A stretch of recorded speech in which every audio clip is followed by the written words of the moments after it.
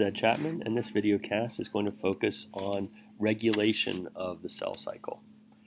Uh, you can think of the cell cycle as a process that can be switched on or switched off, and it's controlled by signal molecules that work a lot like stoplights. Okay, they're they're there to control the flow of a process, uh, just like a stoplight controls the flow of traffic. Uh, these signal molecules are going to be controlling the cycling of the cell. And remember, a cell is reproducing when it goes through the cell cycle. And in the cell cycle itself, there are what we call checkpoints, which are points where the system can be stopped or given the go-ahead. So this is the these are the regulation points in the cell cycle. Now you can represent this concept with something that looks a lot like a thermostat. It's a control system with two checkpoints. We've got the G1 checkpoint and we've got the G2 checkpoint, the two that we're going to be worried about. All right. Now the G1 checkpoint right here, if a cell does not pass the G1 checkpoint, it remains in a state called the G sub O state, which means it's a non-dividing cell. Most of the cells in your body are in the G sub O state, which means they've reached their full size, uh, they're fully functional, and they're doing their job, but they're not reproducing. They're not growing and reproducing. Uh, if, you, if you think about it, uh, when somebody finishes growing, like say at the end of puberty or the end of the teen years, you've kind of reached your full size, everything's working like it's supposed to be working, and then you kind of operate in a steady state until things start to fall apart when you get old, right? So passing the G1 step uh, checkpoint right here, when the cell goes past here, that means it can start replicating its DNA during the S phase, all right? And the G2 checkpoint is what stop where a cell can be regulated to prevent it from going through the stages of mitosis. All right, so I think the G, G sub 1 checkpoint is probably the more important of the two. Now, there are such a thing as cyclin-dependent kinases that are the signal molecules that are used to regulate the cell cycle or cell division. And you probably remember the word kinase from the chapter on um, cell signaling, all right? Now, cyclin's probably new, but it's the spelling of it tells you a little bit about what they do.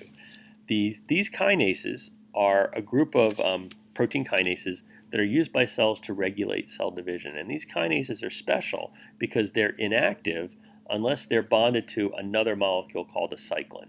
All right. So what happens is if a if a cyclin dependent kinase bonds to a cyclin, then it becomes something called an MPF, which is a maturation promoting factor. So this MPF is a signal factor or a signal molecule that can cause a cell to go through the cell cycle. All right, but notice the relationship here. The kinase molecule has to bond to the cyclin in order to become active. All right, so the MPF is basically, you can think of it as the active form of the kinase molecule. Now, what's cool about cyclins and why they're called cyclins, these are proteins whose concentrations change during the cell cycle.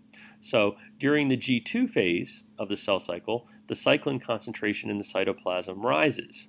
Okay, and during the mitosis phase of the cell cycle, the, the concentration of cyclins falls. Okay, so cyclins are accumulating late in the S phase, okay, and they are being taken apart or degraded during mitosis. That's why their concentration goes down here and goes up here. All right. So the cyclin concentrations over time are cycling. All right. And since cyclins are needed to bond with these kinases to promote cell division, you can see how the cyclins are what are controlling cell division. They're the, they're the timing mechanism. Now here's a picture of it. Okay, here eh, we are in the, let's, let's see, where should we start? Let's start down here. All right, so we have a cyclin, and we have a kinase, or they, it's a special kind of kinase that's dependent on cyclin, so they call it a cyclin-dependent kinase, hence these three letters.